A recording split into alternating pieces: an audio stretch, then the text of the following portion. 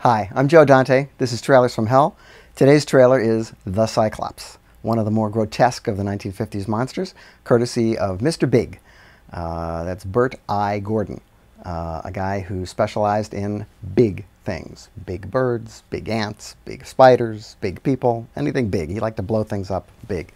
And uh, didn't usually have much money to do it. Uh, but he did have, uh, he was resourceful, and uh, he managed to make a number of pictures in this decade. Oddly, his two best pictures, uh, the uh, Mad Bomber and Necromancy, don't have any special effects in them, so go figure. Anyway, here's the trailer. Bert Gordon's pictures were generally underfunded, and uh, the way he worked around that was, particularly with this picture, is he has a very small cast, and he's only got three locations. He's got Bronson Canyon, he's got the Arboretum, uh, and uh, downtown Olvera Street, which is supposed to make us think the whole picture is taking place in Mexico. Uh, the idea here is that uh, Gloria Talbott is taking these adventurers to find her brother, who has disappeared in a, uh, a site that is very radioactive, and guess what? Uh, it makes you big.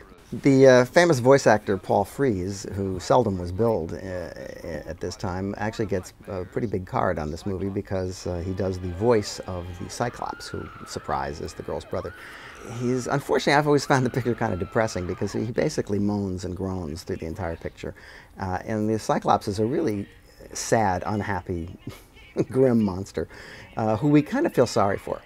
Uh, which doesn't help much when he gets, uh, you know, his only remaining eye uh, stuck with a uh, javelin.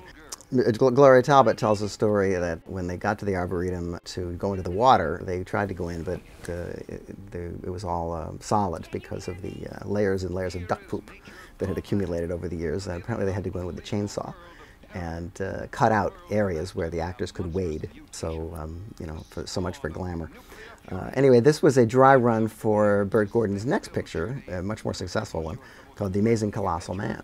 The screen has ever shown. Crashing into this world of horror, a beautiful woman and three adventurers dare to challenge the unknown in a land where life and love is ruled by the Lord of Nightmares, the Cyclops.